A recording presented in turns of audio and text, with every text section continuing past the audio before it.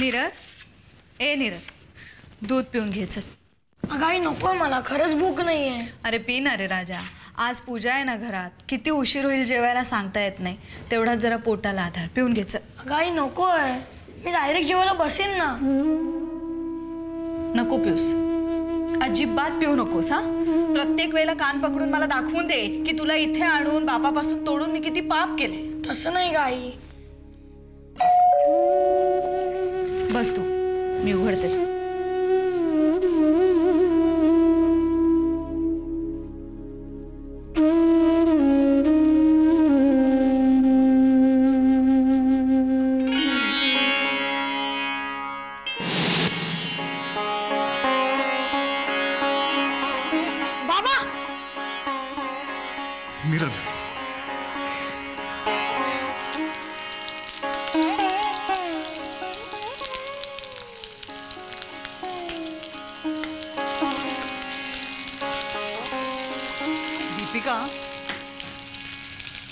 भाजी फोडणीला घालते. तू जरा एक काम करतेस का माझं? दादांच्या खोलीत ना तिकडे फडताळात द्रोण ठेवलेत का बघ जरा. म्हणजे मागच्या वेळेला आणले होते पूजेच्यासाठी ते असतील तर काढून ठेव. आणि आलीच ना की जरा चिवडा लाडूच्या पुड्या बांधायला घे बाई. काय रात्र थोडी आणि सोंग फार अशातली गत झाले बघ. कामं संपता संपत नाही आहेत ग. तरी नशीब तिकडे मी कस्तुरीला पाठवलं हॉस्पिटलच्या इथे पूजेची तयारी करायला. अगं बाई गॅस गॅस संपला वाटतं. बघ ग गेले दोन दिवस सांगते मी यांना आणि मयुरेशला की जाऊन सिलेंडर बुक करून या तुम्ही म्हणून. टाळाटाळ लक्षच देत नाहीत अजिबात. तो एक एक्स्ट्रा सिलेंडर होता तो शेजारचे भाटवडेकर घेऊन गेलेत. आता बसा म्हणावं आता तसेच. काय करू मी कुठे कुठे लक्ष देऊ? तू एक काम कर तू जरा चहा अंकुशला घेऊन जा. अगं माझ्या एकेका क्षणासाठी आसुसलेली असते ती तिथे. खरं म्हणजे गेल्या कित्येक दिवसात मी तिला वेळच नाही देऊ शकलो. तिच्यापासून तुटल्यासारखाच झालोय मी. माझ्या प्रत्येक अतिरिक्त क्षणावरती आता फक्त तिचा अधिकार आहे. तिची खूप उधारी आहे का माझ्यावरती आणि हा मिळणारा अतिरिक्त वेळ मी फक्त तिला देणार आहे. इन्स्टॉलमेंटमध्ये अगदी व्याजा सकट तिची कधीच काही तक्रार नसते हा. कधीच काही मागत नाही ती. एरवी दाताखाली ओढ दाबून फक्त नवऱ्याची पाठराखण करत राहायचं एवढंच तिला माहिती मग अगदी ओठातून रक्त निघालं तरी होऊ नये. की आहे कृतिका खरंच कधी कधी असं वाटतं की आज मी जो काही आहे ना तो फक्त तिच्यामुळे आहे. असं वाटतं की या जगातला मी सगळ्यात भाग्यवान नवरा आहे. कारण सरिता माझी बायको आहे. अंकुश आत येऊन बोलू का बाहेरच्या ना तमाशा नकोय मलाही तमाशा करायचा नाहीये. आणि या घरात जास्त वेळ थांबण्यातही मला इंटरेस्ट नाहीये. मी फक्त नीरजला घेऊन जायला आलोय. अंकुश मी तुला याआधीच सांगितलंय. तू सुधारेपर्यंत मी आणि नीरज इथेच राहणार आहोत हेच मला नीरजच्या तोंडून ऐकायचंय. नीरज बेटा तुला सुद्धा आईसारखे तुल तुला तुझे बाबा नकोसे वाटतात का? मला माहिती आहे की मी नाकारताय माझ्याकडे कुठलंही काम नाहीये मी एकही पैसा घरात आणत नाही. पण तू अशी इतकी मोठी शिक्षा देणार आहेस का? बाबा. नीरज मी तुझ्याशिवाय राहू शकत नाही रे. आपलं घर मला एकट्याला खायला उठलं. मी तुझ्याशिवाय जर आणखीन काही दिवस राहिलो ना तर मी मरून जाईन. बाबा असं नका ना बोलू. अंकुश तुझ्या एकटेपणाची जाहिरात करून काय सिद्ध करणार आहेस तू? त्या पोराला काही कळत नाही याचा किती गैरफायदा घेणार आहेस तू? आई मला सगळं कळतंय. मी मोठा झालोय आता. ऐकलंस ना? काय म्हणाला ते? त्याला सगळं कळतंय मोठा झालाय तो. आपली आई असं का वागते आपला बाप असं का वागतो हे त्याला कळतंय. कोण बरोबर आहे आणि कोण चूक? अंकुश थोडे थोडके नाही तेरा वर्ष संसार केलाय तुझ्या बरोबर. तुला जितकी मी समजू शकते ना तितकं कुणीही समजू शकत नाही. हा जो स्वतःचा भोळा आणि साधा असा चेहरा केलायस ना त्याने हा पोरगा फसू शकतो मी नाही.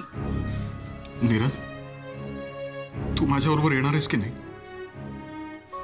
तुझ्या आईने मला विलन ठरवून टाकलंय पण मी विलन नाही रे. तुझ्या बाबांना तुझ्या आईने टाकलंय पण तू मला टाकू नकोस हवं तर मी तुझ्या पाया पडतो. आई मी जाऊ बाबांबरोबर.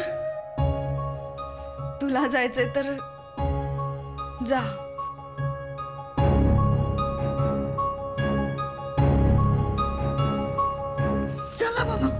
मी तुमच्याबरोबर येतोय. नीरज चल. नीरद. अरे नीरद निदान घरच्यांना सांगून तरी जा. अंकुश मी बहिणीला बोलावते. अंकुश! अंक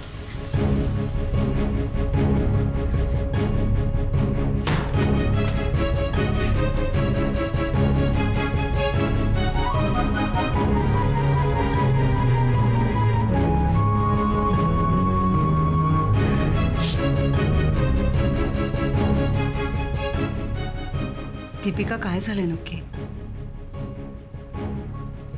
तू आल्यापासून बघते मी अंकुश विषयी बोलायचं टाळतेस तू. नीरज सुद्धा नीट बोलला नाही ग गप्प गप्प वाटला. तू हसून इतरांना फसवशील माझ्यापासून नाही लपवून ठेवू शकणार काही. काय झालंय नक्की? काय सांगू तुला अंकुशबद्दल त्याचं रोज रोज दारू पिणं का मला टोचून टोचून बोलणं. दुबईला जाण्याच्या हव्यासापायी तीन लाख रुपयाची वाताहात लावली या माणसानं. इथे अंकुशची नाटकं कमी पडतात म्हणून की काय?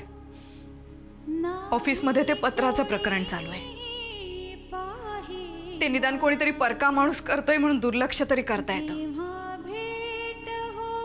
इथे ते पण नाही. सटवाईने कुठल्या मूडमध्ये माझं नशीब लिहिलंय कुणास ठाऊक? जाऊ दे ग. रोज मरे त्याला कोण रडे? मी द्रोण घेऊन येते. दादाच्या खोलीतच आहे ना?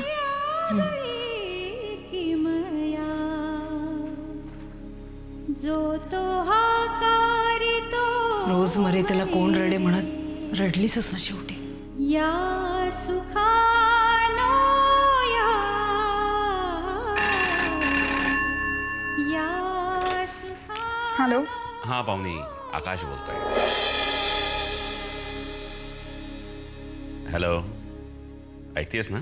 समोरचा माणूस बोलत असताना फोन ठेवण्या इतकी असंस्कृत नाहीये मी. बोला. तुझा माझ्यावरचा राग अजून गेला नाहीये का? तुमच्यामुळे उद्ध्वस्त झालेलं माझं करिअर सावरलेलं नाहीये अजून. मग तुमच्यावरचा राग जाण्याचा प्रश्न येतोच कुठे? पाहुणे? मी प्लीज फोन ठेवू. आज अभय काकाच्या नर्सिंग होममध्ये संध्याकाळी पूजा आहे. त्याची तयारी करायची. काय? हे काय चाललंय? दोन दिवसापूर्वी अभयच्या नर्सिंग होमचं ओपनिंग होतं. आज पूजा आहे. आणि या दोन्ही वेळेस मला बोलवायचं टाळलं त्याने. का? अभय काका असं कधीही वागणार नाही. त्यांनी तुम्हाला उद्घाटनाला बोलावलं असणार. पण तुम्हीच तिथे आला नसाल. कारण मला अमेरिकेहून परत आणल्यानंतर अभय काका आणि मयुरेश काका तुम्हाला जे काही बोलले ते तुम्हाला डायजेस्ट झालं नसेल. आणि तुमचा इगो हर्ट झाला असेल ना? शडाप डोकं फिरलंय तुझं. वाटेल ते बोलतीयस तू. मी वाटेल ते बोलत नाहीये.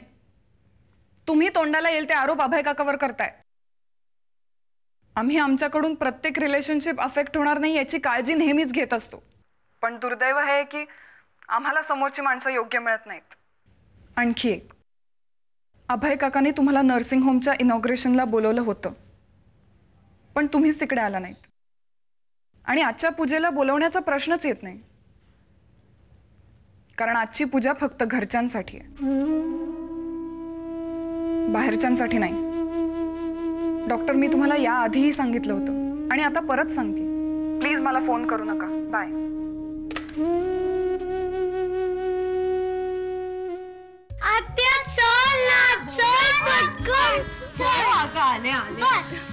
काय काय झालं? का बोलावलं? आम्हाला तुझ्याशी बोलायचंच नाहीये. मग मी जाते. नाही, नाही, नाही. काय झालं? आम्हाला तुझ्याशी बोलायचं नाहीये बोललीच नाहीये. हे बघ आपल्याकडे पूजा आहे की नाही? आहे ना मग एवढी घाई गडबड आहे आईची मला दादा काकाच्या खोलीतनं द्रोण आणायचे म्हणून मी तिकडे चालले होते. का बोलावलं? आत्या बाबांनी आम्हाला नवीन खेळणी आणली आहेत. ती दाखवायची होती. असं होय. मग दाखवा आण. खेळणी बघायला माझी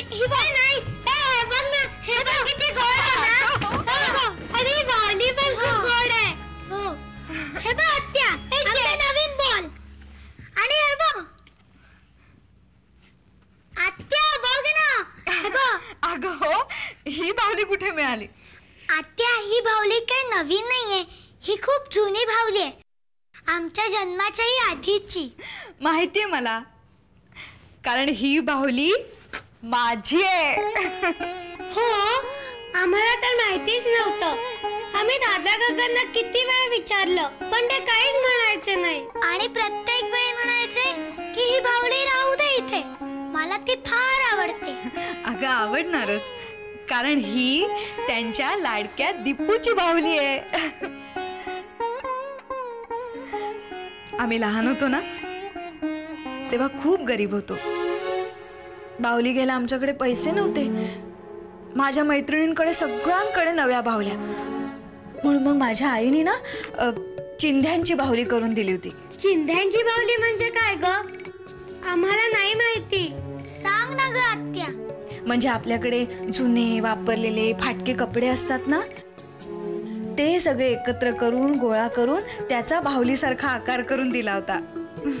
चिंधीची बाहुली होती पण नवी नव्हती ना? मी दादाकडे हट्ट करायचे नवी बाहुली हवी म्हणून. मग दादा काका पण खूप रडायचा कारण त्याच्याकडे पैसे नव्हते मला बाहुली घेऊन द्यायला. पण दादाला जेव्हा पहिला पगार मिळाला ना तेव्हा त्यांनी माझ्यासाठी ही बाहुली आणली. महाराजांसमोरही पैसे ठेवण्या आधीही त्यांनी ही बाहुली माझ्याकरता विकत घेतली. आणि धावत येऊन माझ्या हातात ठेवून म्हणाला दीपू ही तुझ्यासाठी नवी बाहुली. आता तुझ्या आयुष्यातल्या चिंध्या संपल्या. दादा मी खूप प्रयत्न करते रे. डोळ्यात पाणी आणू न देण्याचा. पण तुझ्या या दीपूच्या आयुष्याच्या चिंध्या संपतच नाही येत रे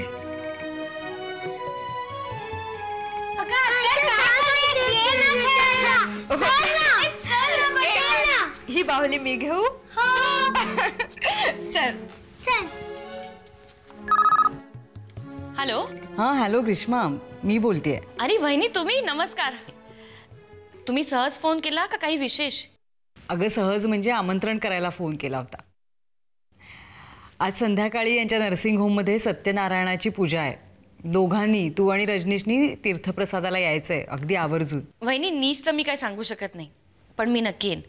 खूप मोठ्या प्रमाणात करताय काही पूजा? अगं छे ग अगदी लहान प्रमाणात घरातल्या घरात करायची ठरवली आहे पूजा. अगं हो आणि कृतिकाला पण अगदी आग्रहाचं निमंत्रण दे. तिला म्हणावं वहिनींनी सांगितलंय ये तीर्थप्रसादाला. पण वहिनी तुम्ही आत्ताच म्हणालात ना की ही तुमच्या घरची पूजा आहे. मग कृतिका तुमच्या घरच्या लोकांच्या व्याख्येत बसते का? ती यांच्या मैत्रिणीच्या व्याख्येत बसते. एवढं पुरेसं आहे माझ्यासाठी. वहिनी मला माहिती आहे तुमच्या घरची लोक कृतिकाबद्दल काय विचार करतात. And I am not against it ती वागतेच तशी. मग तुमच्या घरगुती सोहळ्याला ती आलेली लोकांना आवडेल का? हे बघ ग्रीष्मा एक सांगू का तुला? आपल्या आवडीनिवडीच्या पलीकडे जाऊन कर्तव्य म्हणून सुद्धा काही गोष्टी कराव्या लागतात आपल्याला. आमचं यांच्यावर खूप प्रेम आहे असं आम्ही सगळेजणच दावा करतो. मग त्यांनी आपलं म्हटलेल्या व्यक्तीला सुद्धा आपलंसं करणं हे जमायला हवं की नाही? आणि कृतिका तर काय यांच्या नर्सिंग होमचा एक भाग आहे म्हणजे तिचं तिथं असणं गृहीतच आहे. आणि नुसतं प्रेम करणं कुणालाही जमतं ग. पण प्रेमाच्या कक्षा रुंदावणं महत्वाचं.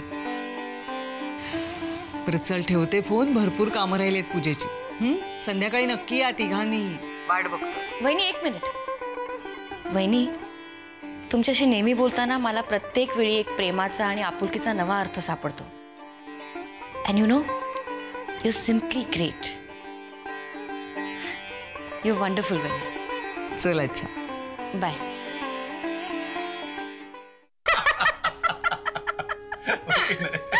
ग्रेट अभय तुला आठवत? दिवसांनी अशी हसते मी. अभय माझ्या लग्नाच्या आधी आपली किती रात्री अशी मैफिल जमायची ना? हो. हा कुठून कुठून जोक जमवायचा काय स्टॉक होता रे याच्याकडे? हसून हसून पोट दुखायला लागायचं. आणि मग रात्री बारा साडेबारा वाजता दादा त्याच्या खोलीतून बाहेर यायचा आणि म्हणायचा "ते अभय तुम्हाला काय काय घड्याळ बिळ काय कळतं की नाही हा? काय रे? मयुरेश दीपिका तुम्हाला काय सकाळी कॉलेज बिल आहे की नाही? आणि त्यांचं एक ठीक आहे. पहिले काही पिरियड्स ते बंक करू शकता. तुझं तसं आहे का? तू तुझे हॉस्पिटलचं ड्युटी आवर्स बंक करू शकणार आहेस का? हा? काय आज किती दिवसांनी आज आपण एकत्र आलो नाही असे बरं. दादा अभय इस बात पे एक और जोक सुनिए. आई. हाँ. बरं. ए नको नको नको. आता जोक बिक नको. अरे भरल्या पोटी हसवत नाही रे मला. बास बास. आता झोपूया आपण. बास. अभय यार प्लीज एक जोक यार प्लीज दादा दीपू तू सांग ना त्याला. अरे तुझी सगळी नस आणि नस ओळखून आहोत रे आम्ही सगळेजण. काही नाही तुला कॉफी येईपर्यंत वेळ काढायचा फक्त म्हणून तू आम्हाला इथे जोक सांगत उभं ठेवलेलं आहेस. बरोबर आहे खरंय खरंय. तू सुद्धा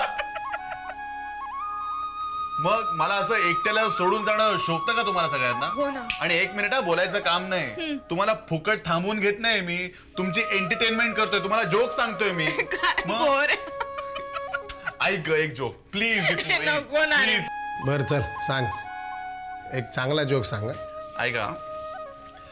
दोन सरदारजी एकत्र आले ना की बुद्धिबळ खेळतात. ए माहिती आहे मला. अरे राहा नको. अगं खरा जोक तर पुढे ऐक ना. दोन सरदार जे एकत्र आले की बुद्धिबळ खेळतात. दीपू प्लीज आणि चार एकत्र आले ना चार सरदार जे एकत्र आले ना की बुद्धिबळ डबल्स खेळतात. मयुरेश तू एवढा मोठा झालास तरी सुद्धा लहान मुलाच्या उत्साहाने अजूनही जोक हा.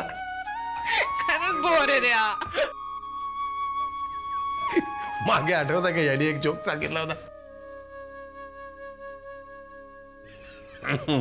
एका पायावरती उभ्या असलेल्या सरदारजीचं नाव काय असू शकत? बॅलन्सिंग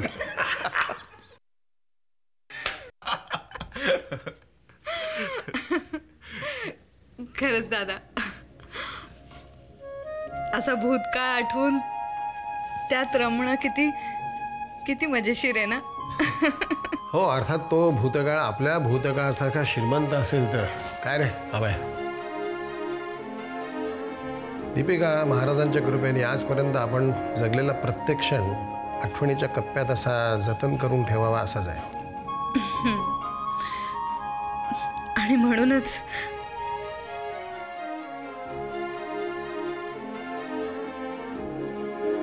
म्हणूनच माझी लहानपणची बाहुली अजूनही जपून ठेवली असतो